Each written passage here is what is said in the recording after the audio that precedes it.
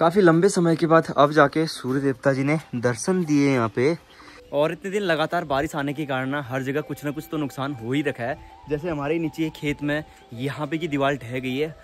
तो चलिए गाइज़ फ़िलहाल दाजी और मैं निकल चुके हैं इस खूबसूरत से सफ़र पर। बूबू जी के नारे परसों आपने सुने होंगे वहाँ वाली वीडियो में सबकी मतलब काफ़ी ज़्यादा जोश भरा हुआ है अभी भी बूबू के अंदर। बूबू से जानते हैं। और बूबू जी आप किसमें थे फिर? इंडियन आर्मी में? हाँ। किसमें मतलब पूरा बताएँगे आप? मेरे को तो पता नहीं हाँ। अभी फ़िलहाल हम लोग अपने घर से डेढ़ सौ से दो सौ मीटर दूर पहुँचे और मैं अभी जहाँ पे लोकेशन पे खड़ा हूँ ना, यहाँ पे पुराने जमाने में ना हमारे पूर्वजों के घर हुआ करते थे। आगे बढ़ते अभी फ़िलहाल हम लोग रुके बंदलीमा से थोड़ा आगे वाले बैंड पे और बंदलीमा में हमारा ना डाक घर यानी पोस्ट ऑफ़िस वगैरह भी रहता है। तो गाइज़ अभी फ़िलहाल हम लोग पहुँच चुके हैं रड़गांव पे और यहाँ से हमारे ना स्कूल जाने का रास्ता भी है, जहाँ तक मैंने टेंथ क्लास तक पढ़ा था। अभी फ़िलहाल मैं हूँ गंगनाथ बाबा जी के मंदिर परिसर में। गंगनाथ बाबा जी के बारे में कहा जाता है कि बाबा डोटी नेपाल के राजा थे तो भाई लोग फ़िलहाल अभी हम लोग हैं मंदिर परिसर में, मल्लिकार्जुन महादेव स्वामी जी के मंदिर परिसर में। तो सबसे पहले आप सभी लोगों को मेरा प्यार भरा नमस्कार।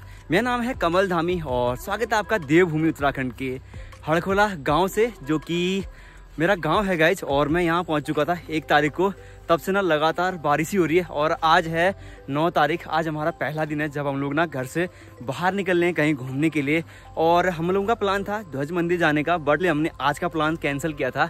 अब देखते हैं होप करते हैं कि कल भी थोड़ा सा धूप खिल जाए। उसके बाद हम लोग वहाँ जाने का प्रयास करेंगे, अगर भगवान का बुलावा आता है तो। और आज के दिन की हमारी ना राइड होने वाली है लोकल में, देखते हैं कहाँ तक हम पहुँचते हैं। तो चलिए गाइज़ आज के इस खूबसूरत से नज़ारों के साथ ये वीडियो करते हैं। स्टार्ट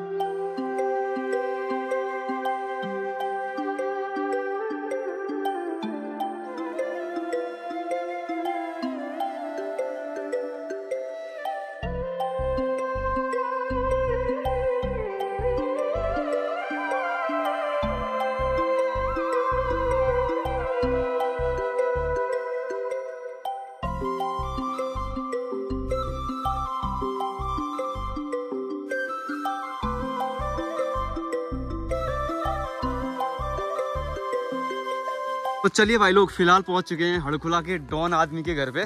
और डॉन आदमी यहाँ पे सुबह सुबह कुछ कार्य में बिज़ी हैं। ठीक है मिलिए डॉन आदमी से। और बबू जी ठीक ठाक बूबू जी के नारे परसों आपने सुने होंगे वहाँ वाली वीडियो में। सबकी मतलब काफ़ी ज़्यादा जोश भरा हुआ है अभी भी बूबू के अंदर। बूबू से जानते हैं। और बूबू जी आप किसमें थे फिर? इंडियन आर्मी में? हाँ। किसमें मतलब पूरा बताएँगे आप? मेरे को तो पता नहीं है। हाँ, हाँ। पहले मैं फौज फौज में था। जोश? हाँ, हाँ। फिर उसके बाद दोबारा शरीर में एक सौ तीस इन्फेंट्री बटालियन टी में की हाँ फिर और दो हज़ार सोलह तक दो हज़ार सोलह तक हाँ अड़तीस साल टोटल नौकरी की मैंने अड़तीस अठारह फौज में और बीस टीए में एक सौ तीस बटालियन टीए में टीए में और उसके बाद यहाँ गाँव का डॉन होने का मोर्चा भी बुबू ने संभाल रहा है नहीं, नहीं, नहीं,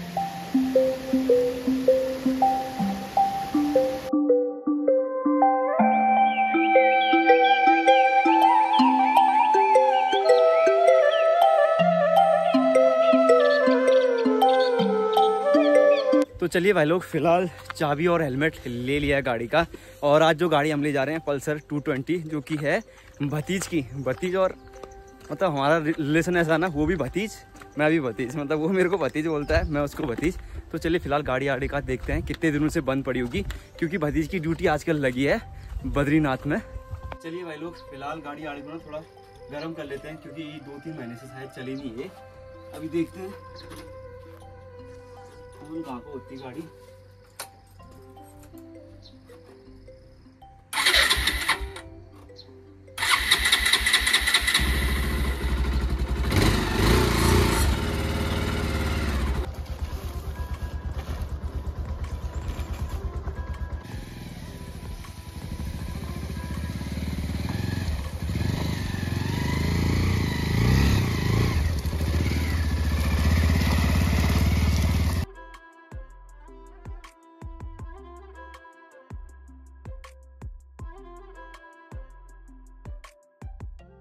आगे बढ़ते हैं। अभी फ़िलहाल हम लोग रुके हैं बंदलीमा से थोड़ा आगे वाले बैंड पे और बंदलीमा में हमारा ना डाकघर यानी पोस्ट ऑफ़िस वगैरह भी रहता है, जहाँ पे ना पुराने टाइम पे हमारी चिट्ठियाँ वगैरह आती थी और बंदरलीमा को सबसे ज़्यादा केले उत्पादक का क्षेत्र भी जाना जाता है और ये जो रोड आप देख पा रहे हैं, यही आगे जाके आदि कैलाश तक जाती है। तो गाइज़ अभी फ़िलहाल हम लोग पहुँच चुके हैं रड़गांव पे और यहाँ से हमारे ना स्कूल जाने का रास्ता भी है, जहाँ तक मैंने टेंथ क्लास तक पढ़ा था जी हचीला करके बाकी यार, थोड़ा सा बाइक में ना मेरे को एक प्रॉब्लम देखने को मिल रही है।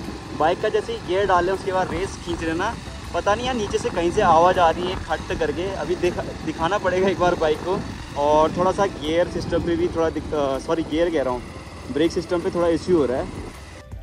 आगे बढ़ते हुए हम लोग एक खूबसूरत सी लोकेशन पे रुके हुए हैं, जहाँ पे कि गंगनाथ बाबा जी का मंदिर है और ये लोकेशन है रणगांव में और रणगांव के भट्ट लोग इनको इष्ट देवता के रूप में पूछते हैं। जिस प्रकार से हम लोग इष्ट देव हरिचंद स्वामी जी को अपने कुल के इष्ट के रूप में पूछते हैं, उसी प्रकार इन लोगों का ये मंदिर है। और इस मंदिर में मैं ना बहुत कम बार विज़िट किया हूँ यार।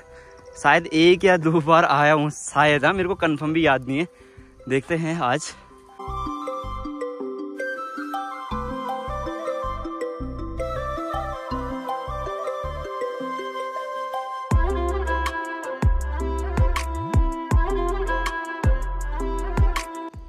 अभी फ़िलहाल मैं हूँ गंगनाथ बाबा जी के मंदिर परिसर में। गंगनाथ बाबा जी के बारे में कहा जाता है कि बाबा डोटी नेपाल के राजा थे और तेरह वर्ष की आयु में इन्हें राजपाट त्याग कर जोग धारण कर लिया था। और बाबा के बारे में ये भी कहा जाता है कि बाबा घट घट के वासी और रंगदारी जोगी हैं। साथ ही साथ इन्हें बहत्तर विद्याओं का ज्ञानी भी माना जाता है। और कुमाऊं मंडल में बाबा के मंदिर ना हर गाँव में लगभग देखने को मिलते हैं। बाबा के मंदिर से ना एकदम सामने, ठीक सामने यहाँ पे हमारा स्कूल भी है, जहाँ पे तक मैंने दसवीं तक की शिक्षा प्राप्त की थी। तो चलिए फ़िलहाल बाबा के मंदिर से आगे की तरफ़ को रवाना होते हैं और अपनी जर्नी को कंटिन्यू करते हैं।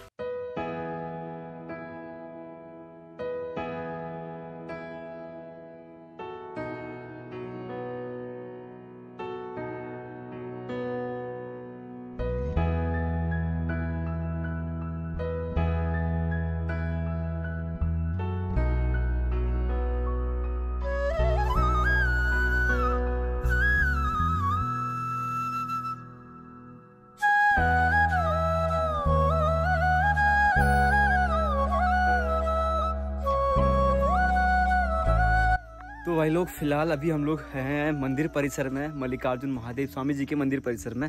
और यहाँ पे ना बहुत सारे मंदिरों का समूह है, जहाँ पे से हम रास्ते से एंटर किए थे, वहीं से मंदिरों के छोटे छोटे समूह बने हैं, जैसे कि आप यहाँ पे देख पा रहे हैं। हनुमान जी का मंदिर है, उसके बाद माँ आदिशक्ति का मंदिर है, उसके बाद ये है मल्लिकार्जुन देव स्वामी जी का मंदिर, जहाँ पे मैं गर्भगृह के ठीक सामने खड़ा हूँ और गर्भगृह के ऊपर आप देख पा रहे होंगे नेचुरल से गर्भगृह के ऊपर का डिज़ाइन बनाया गया है जिस तरीके से हमारे पहाड़ी घरों का डिज़ाइन होता है पत्थरों के द्वारा निर्मित।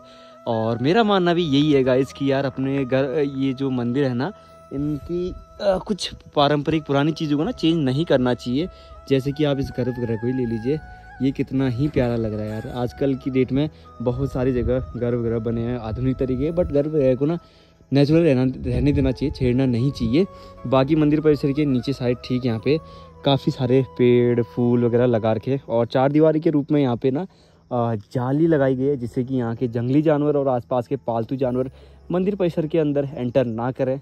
और मेरे ठीक सामने यहाँ पे एक बड़ी सी घंटी लगाई है, जिसको कि ना बाबा शाम को बजाते हैं, बोले। मैं भी आपको इसकी, इस घंटी की प्यारी सी धुन सुनाना चाहूँगा। रेडी वन टू थ्री और मंदिर परिसर के ठीक सामने यहाँ पे आपको एक नदी दिख रही होगी। ये नदी है, शायद से काली गौरी नदी का संगम है, जो कि यहाँ से जाके लोहा घाट में मिलता है। वहाँ पे पाँच नदियों का संगम है मेरे ख्याल से। और फिर उससे आगे ये नदियाँ मिलती है टनकपुर में, शारदा नहर को टच करती है। चलिए गाइज़ यहाँ भी हम लोग आना हो गया। मतलब आज पहली बार मैंने विज़िट किया यहाँ पे और काफ़ी अच्छा लगा यहाँ पे आके। सुकून तो मिलता ही मिलता है, पहाड़ों में आप कहीं भी चले जाओ मंदिरों में।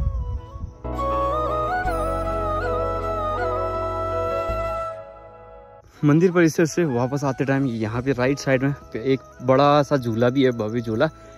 इस पर भी झूलते होंगे कई लोग, मैं भी ट्राई करता हूँ, पर मेरे को डर ज़्यादा लगती है।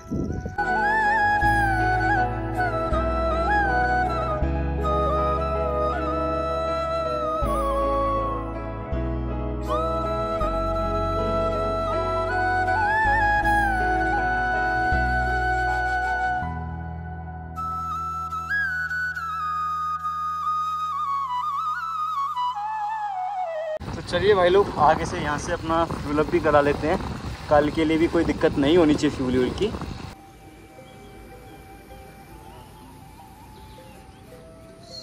तो चलिए भाई लोग फ़िलहाल मैं पहुँच गया हूँ अपने घर वाली रोड में। अब यहाँ से सफ़र बचा है सिर्फ़ और सिर्फ़ चार किलोमीटर का। बाकी यार आ, गाड़ी का काम हमने करा दिया और भी थोड़ा सा काम रहेगा जो कि शायद भतीज के आने के बाद भतीज कराएँगे या देखता हूँ क्योंकि वो कह रहा ना डिस्क प्लेट वगैरह घिस रखी है करके ऐसी कुछ बात है मतलब गाड़ी में। गाड़ी में काम तो है क्योंकि बहुत टाइम से चली नहीं है ना। ना चलने की वजह से भी गाड़ी गाड़ी में फ़र्क तो पड़ता है यार इतने टाइम से। और आज का वीडियो ना काफ़ी ज़्यादा लंबा हो गया तो देखेंगे शॉर्ट शॉर्ट रखने की कोशिश करेंगे आ, कल की वीडियो को। और कल की राइड के लिए आप लोग तैयार रहिएगा गाइज़ जो कि घर से होने वाली है। एक मंदिर की तरफ़ को ध्वज खंडेनाथ मंदिर। और अपनी बीस्ट यहाँ पे खड़ी है। देखो आगे से कैसे रोर कर रही है। इसकी आइज़ थोड़ा सा कलर फेड हो चुका है। शायद धूप की वजह से ये ऐसा कुछ, क्योंकि पहले ये कलर ना एकदम डार्क डार्क था। कल की राइड के लिए भी हमने ना यहाँ पे फ्यूल फुल करवा लिया है। टंकी एकदम मीटर पूरा फुल शो कर रहा है।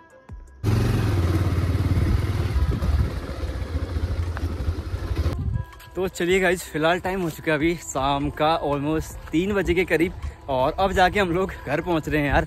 काफ़ी ज़्यादा टाइम लग गया क्योंकि थोड़ा सा गाड़ी बनाना, फिर घूमे भी हम, लंबा घूमे काफ़ी। आज का टूर अच्छा रहा, कल के लिए प्रैक्टिस है मतलब। कल भी हमको लंबा टूर करना है तो इसलिए ना थोड़ा सा हाथ में प्रैक्टिस होना ज़रूरी है इतने लंबे टाइम के बाद बाइक चला रहा हूँ तो। तो चलिए यार, फ़िलहाल आज की इस वीडियो को यहीं पे क्लोज करते हैं। काफ़ी लंबी खींच ली आज की वीडियो मुझे उम्मीद है कि आपको आज की ये वीडियो पसंद आई होगी। अगर वीडियो पसंद आए तो वीडियो को लाइक कर सकते हैं, चैनल को सब्सक्राइब कर सकते हैं। और अगर आप लोग फेसबुक पे देख रहे हैं तो फेसबुक पे हमको फॉलो कर सकते हैं। तो चलिए guys bye thanks for watching bye